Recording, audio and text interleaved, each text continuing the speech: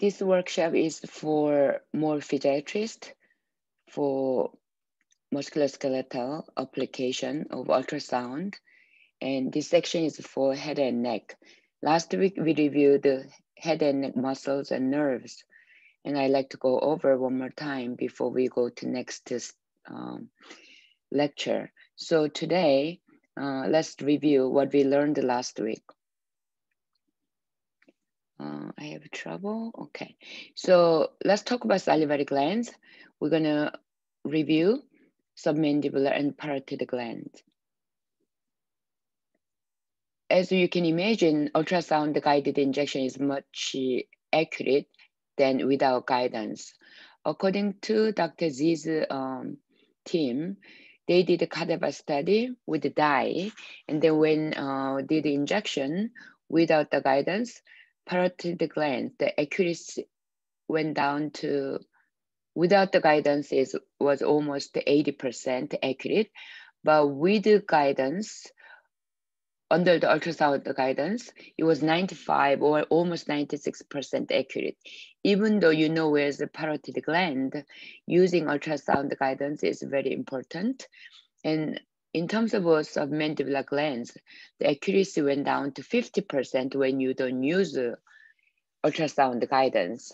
So therefore, our conclusion is ultrasound guided botulinum toxin injections to submandibular glands offer greater accuracy over blind injections.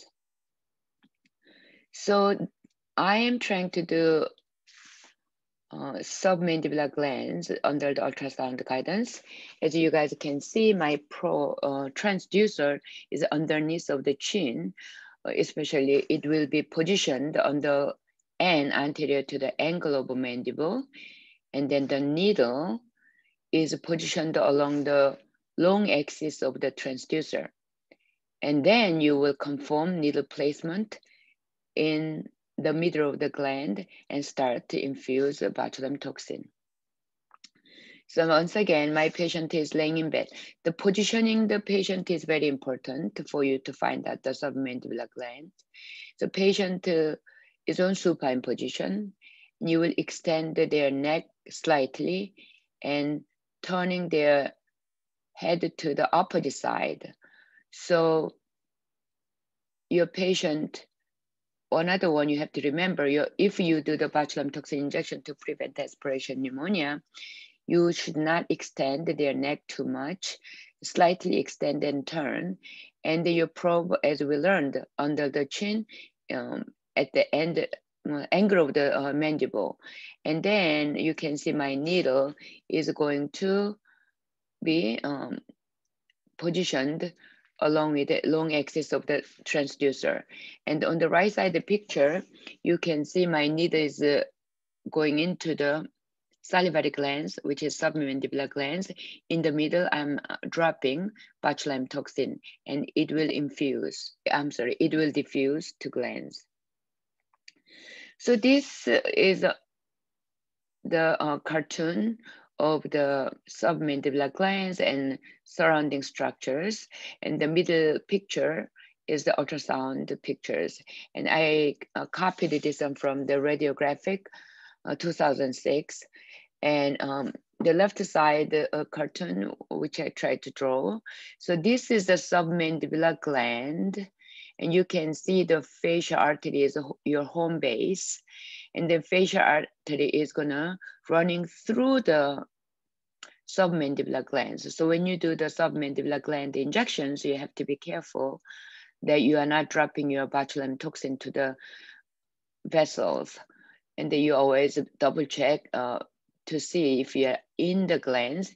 And then you can see some dark stripes is coming in. There are one, two stripe, which is the muscle. Um, top muscle is the mylohyoid muscle and the lower muscle is the hypoglossus muscle. Then you can imagine from the name, underneath of this hypoglossus muscle, this is white hyperechoic one is the tongue. And then next to the tongue, which is lateral to the tongue, is the um, tonsil. But there's some white stuff tinged because this, even though a tonsil, suppose not white, uh, the saliva and air is mixed. That's why you see some white um, stuff here. So if you go to the cartoon, this is the submandibular glands, the facial artery, and then mylohyoid muscle, hypoglossus muscle, and tongue, tonsil, you can see it. And then probe or transducer is placed underneath of the chin.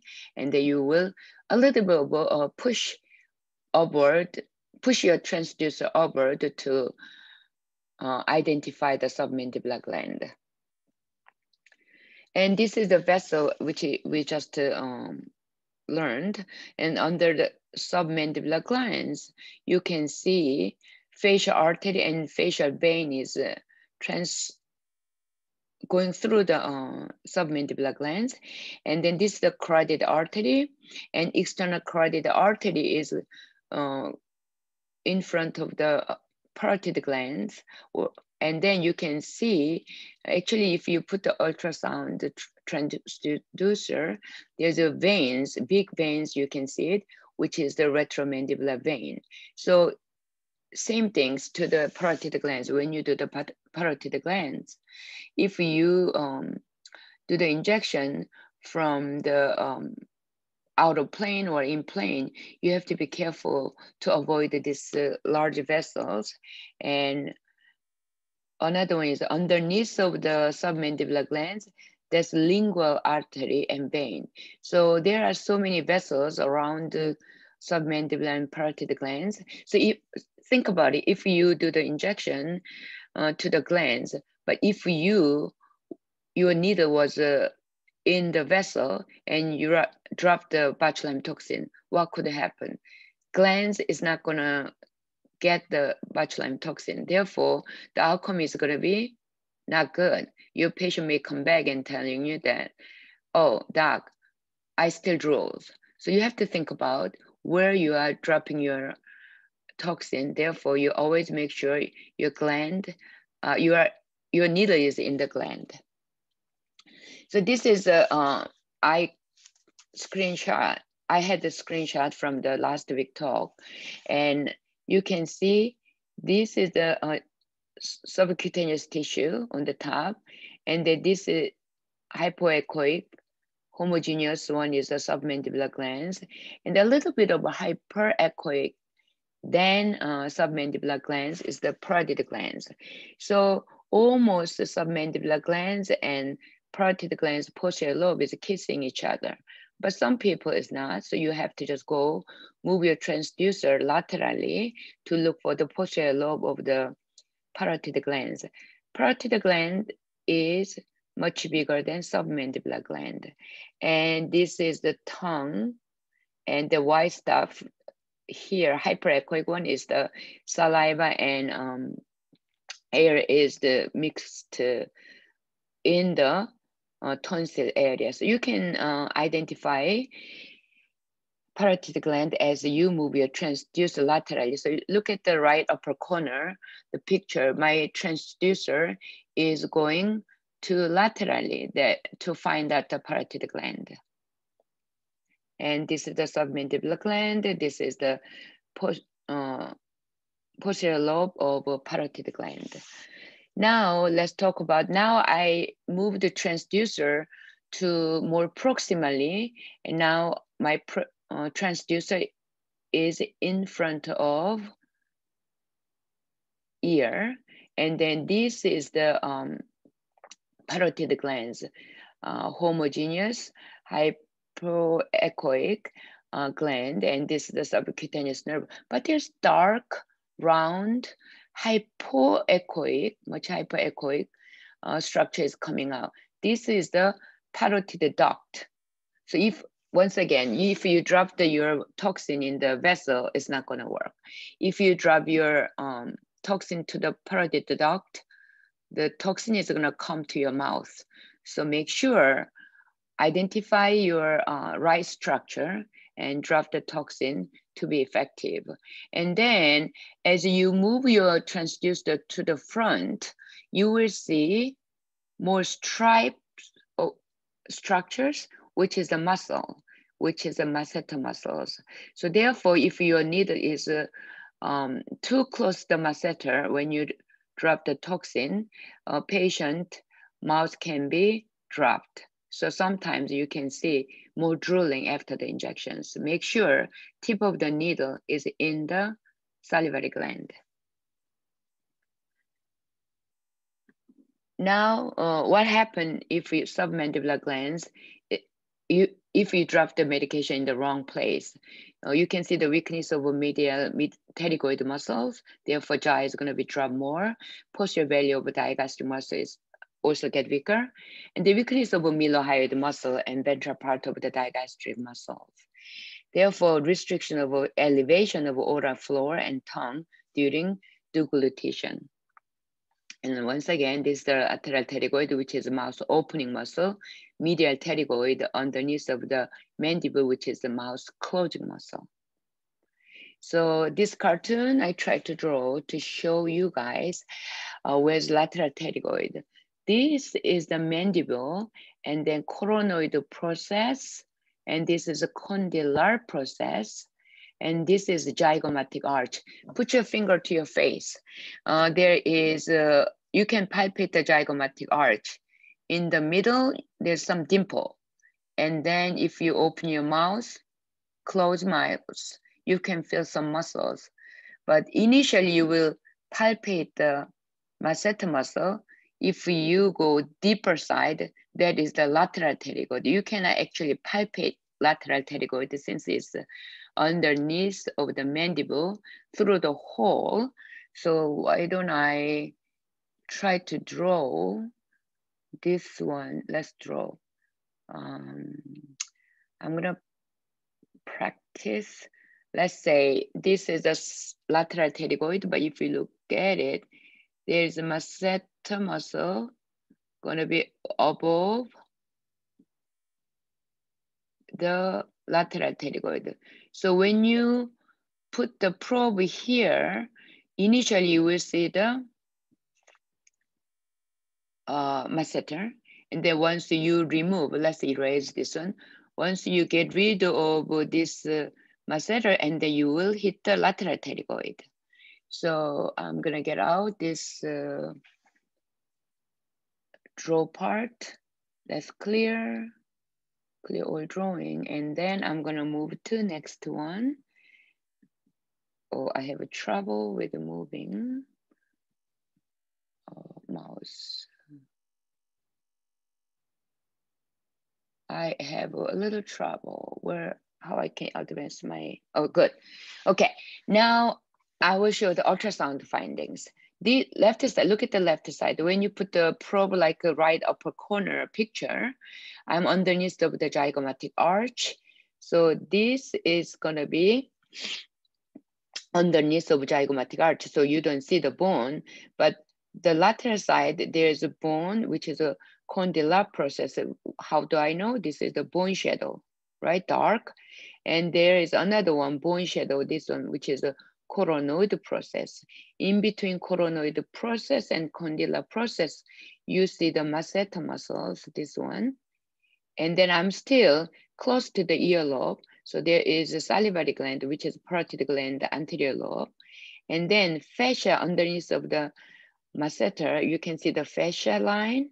And underneath the fascia, there is a square muscle, which is the lateral pterygoid. So let's look at the right side picture one more time. Parotid gland, condylar process is gonna go like this and then come coronoid process. And then masseter is covering the lateral pterygoid. So now you are put the needle to drop the botulinum toxin to the lateral pterygoid by using out of plane. So you are doing out of plane and you need to go to the lateral pterygoid. And sometimes I use a nerve stimulator uh, to double check I'm really in the lateral pterygoid.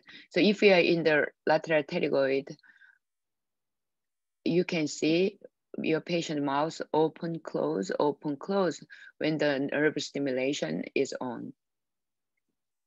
So this um, is very important.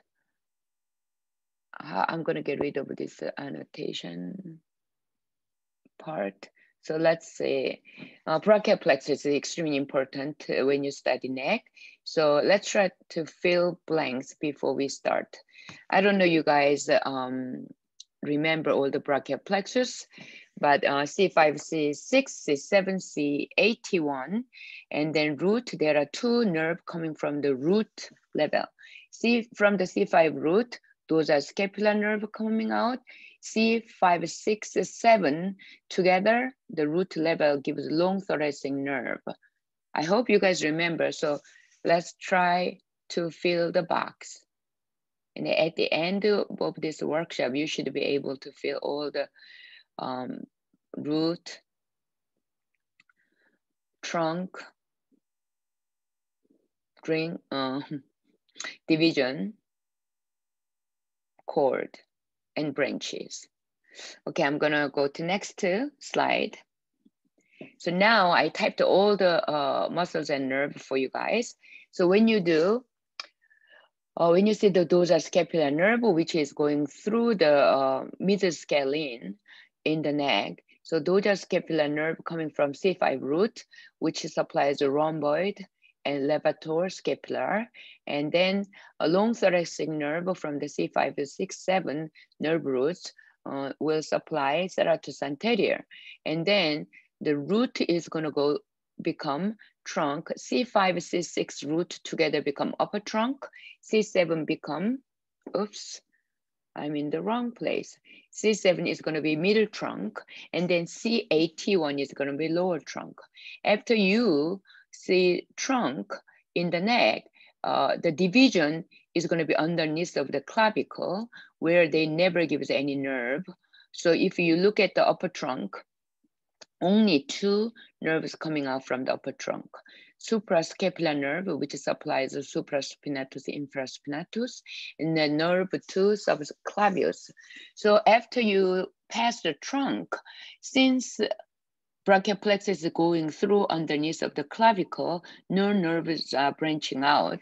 So then the it divide anterior division from the upper trunk uh, and then posterior uh, division. So each trunk will give anterior and posterior division. So from the um, anterior division of upper trunk become lateral cord along with middle trunk of anterior division together. And then three posterior divisions from the three trunks get together become posterior cord. And then a lower trunk anterior division become medial cord. So three cords lateral cord, posterior cord, medial cord. And then lateral cord gives two nerve, which is the musculocutaneous nerve and lateral pectoral nerve to pectoralis major.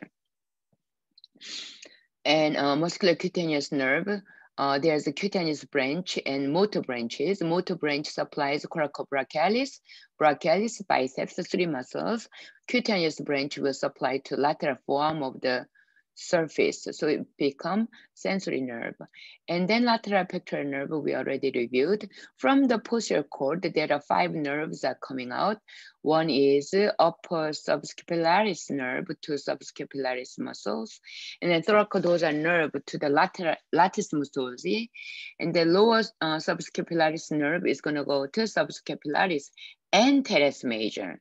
And then continue to uh, uh, branch out to radial nerve. Before the radial nerve, axillary nerve is gonna come out and motor branch is gonna be teres minor and deltoid. Cutaneous branch will supply to posterior and lateral surface of the deltoid. And then lateral cord, uh, anterior, uh, lateral cord and medial cord get together makes the median nerve. And then from the medial cord only, it's going to be ulnar nerve. As long as you remember this brachial plexus root trunk division called M branches, your life is going to be much easy when you practice ultrasound. So I um, draw a cross-sectional view of the neck at C6 level. So let's talk about the anterior part this uh, our let's say our home base is a thyroid gland and trachea and this is the esophagus. And then next to, to in between the trachea and thyroid gland, this is the recurrent laryngeal art, uh, nerve. And then next to, to thyroid gland, if you go to lateral side, you can see carotid sheath. Within the carotid sheath, you can see carotid artery, carotid artery, and then internal jugular vein in between carotid artery or in front of the um, posterior to the carotid artery, you can see the vagus nerve. And if you go continuously to the lateral side, you can see SCM. And then in the front is the hyoid muscles. So you see front part uh, of the structure. Now you see C6 vertebra, and then this is your uh, spinal cord and C6 nerve root. This is the C6 nerve root and it gives nerve, a spinal nerve. And then when you see the spinal nerve, uh, this is the, uh, let's talk about the, this in front of the SCM. SCM is dividing neck, anterior neck, posterior uh, SCM is gonna be posterior neck until you meet the upper trapezius. Between the upper trapezius and post, uh, posterior part of the SCM, we call that posterior neck. So posterior neck include anterior scalene, middle scalene. In between anterior and middle scalene, you can see brachial plexus coming out. And then middle scalene, you remember, uh, dorsal scapular nerves running through middle scalene and then posterior scalene. Uh, superficial to posterior scalene is gonna be levator scapulae. So this is the old neck erector muscles. And then there are uh, very uh, superficial, you can see a small yellow dot. This is the branch of superficial cervical plexus. So when you do suprascapular uh, area, uh, the sensory branch is coming from the cervical plexus. So then um, when you see the vertebra, there's red part in front of the spinal nerve, that's the vertebral artery. And then prevertebral um, muscle, this is the vertebra, right? And the prevertebral muscle, what do you think? Longus colli, I think it's misspelled. C-O-L-L-I, longus colli. And then when you see the longus colli, that's longus colli. You can see throughout whole neck, but uh, you also can see something else lateral to the longus colli as you move your transducer close to the um, neck, uh, upper neck, and that's the longus capitis. Longus capitis is uh, origin and insertion is much proximal uh, to the longus colli. Longus colli is uh, from the C23 to the T1, I think T3, but longus capitis is about C6 to uh, the occipital bone. So here, when you cut um, axial view at C6, you are not able to see longus capitis. Then I wrote here sympathetic ganglion. Um, sympathetic ganglion you can find out in front of longus colli. I was trying to look at it. It is extremely hard to find out, but you know, as we get better, as you guys know, I'm not really good at ultrasound yet, but as we practice each other, I think we will find that sympathetic ganglion later.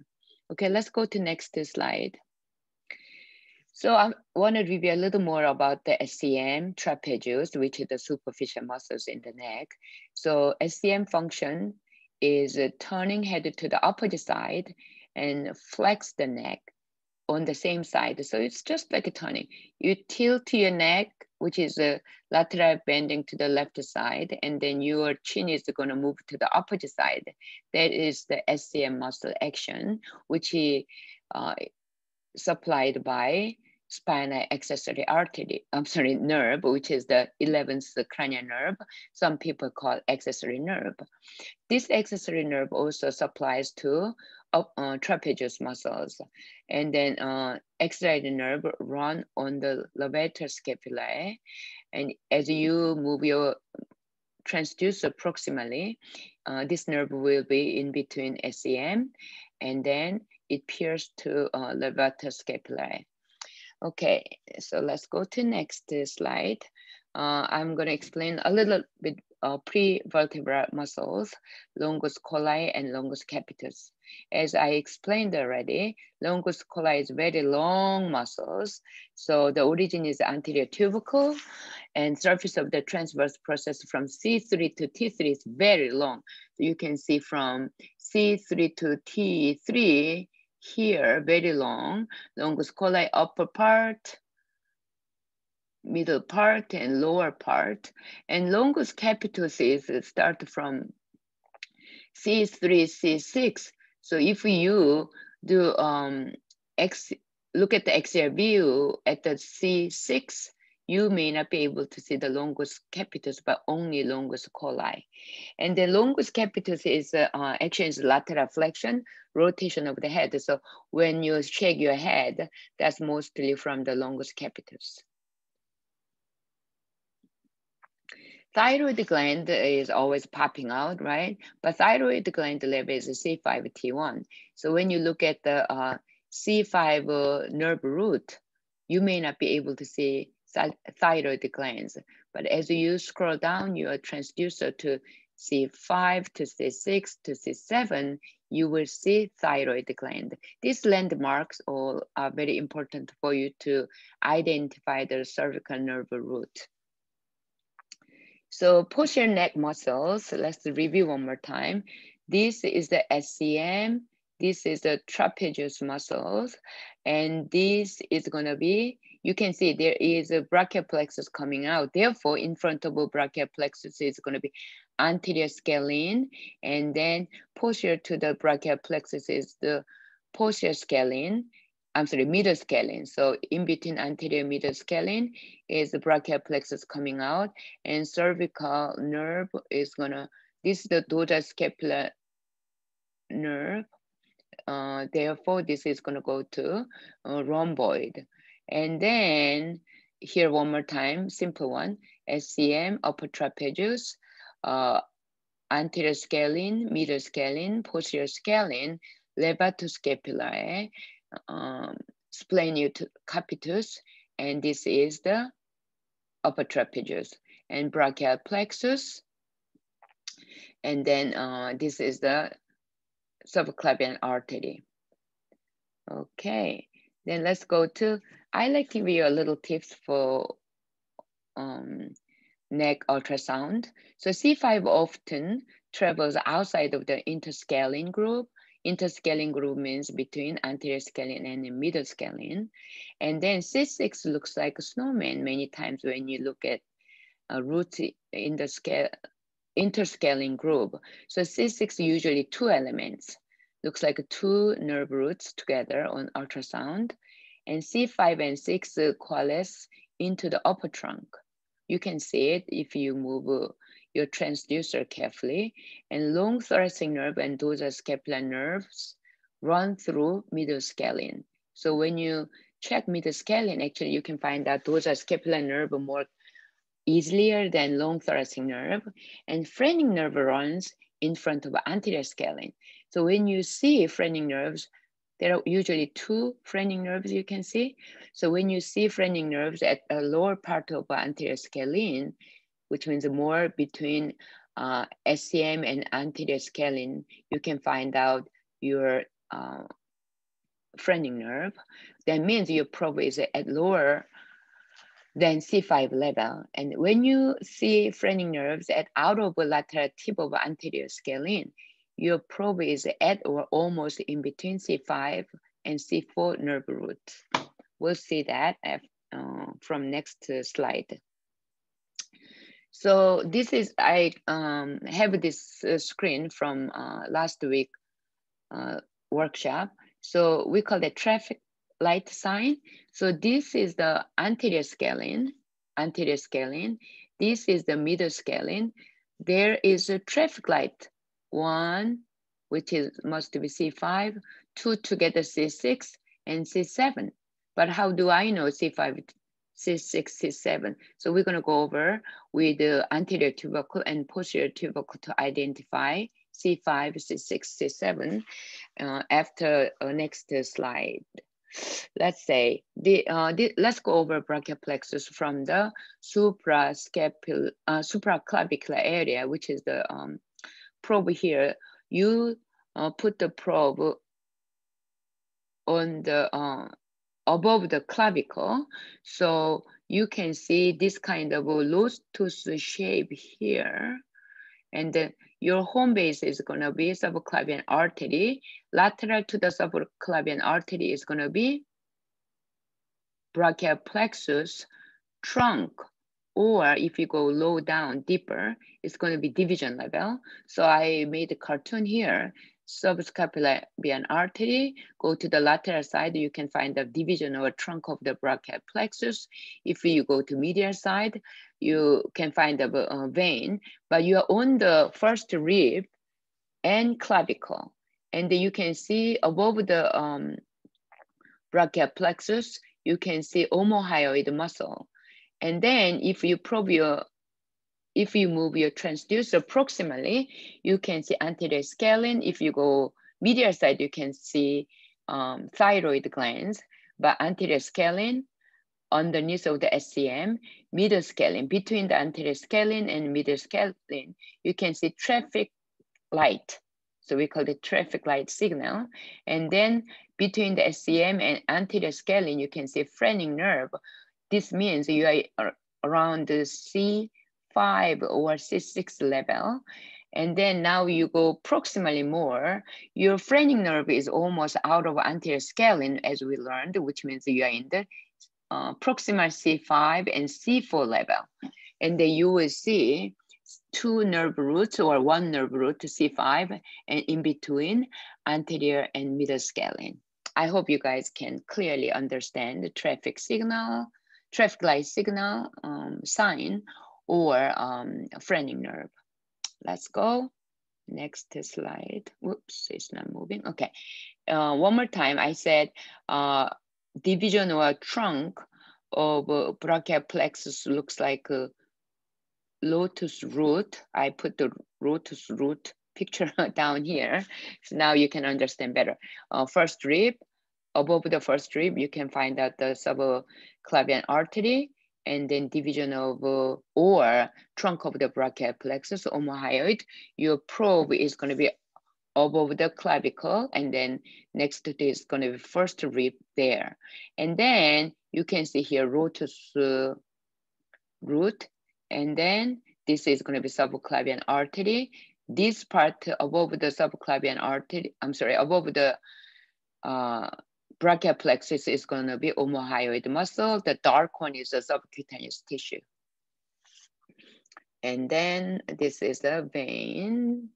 Now I told you we're gonna how we're gonna identify the C5 root, C6 root, C7 root. When you look at the um, ultrasound findings, there is a let's look at the right side. Oh, I found the car carotid artery here SCM, but something white here and bone shadow, and then it drops and there's another bone shadow, you can see it. So this is the anterior part, anterior tubercle and posterior tubercle. Ah, anterior tubercle, posterior tubercle at a same level. So I'm gonna show anterior tubercle, posterior tubercle at the same level. And then this is a C5 nerve root. Let's go to left side of the cartoon. Anterior tubercle, posterior tubercle, and then C5 root sits there.